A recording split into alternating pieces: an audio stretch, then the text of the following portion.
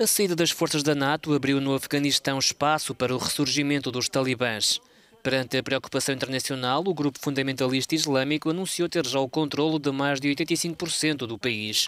Os talibãs garantem, no entanto, que estas conquistas não representam ameaças para o vizinho Irão, nem para as repúblicas aliadas da Rússia.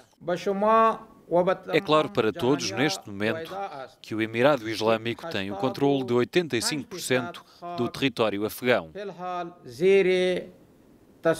Não estamos a tentar tomar o poder.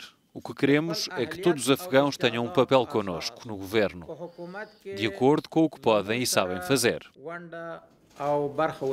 A declaração deste porta-voz dos talibãs foi proferida em Moscou, onde crescem preocupações de que o conflito em curso entre insurgentes e forças fiéis ao governo de Cabul transponham fronteiras e ameacem interesses russos na região, nomeadamente no Tajiquistão, no Uzbequistão ou no Turcomenistão.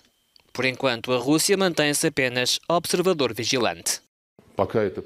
Enquanto as ofensivas armadas se cingirem ao território afegão, a Rússia não vai tomar quaisquer medidas para além dos repetidos apelos ao processo político, o qual todos os afegãos dizem apoiar para que aconteça o mais rápido possível. Tudo o que está a acontecer no Afeganistão preocupa-nos, claro, mas apenas se transpuser as fronteiras para os territórios dos nossos aliados. Ao mesmo tempo que a Rússia tomava posição, também o Irão sentiu o pulso ao conflito, recebendo em Teherão delegações dos talibãs e do governo afegão.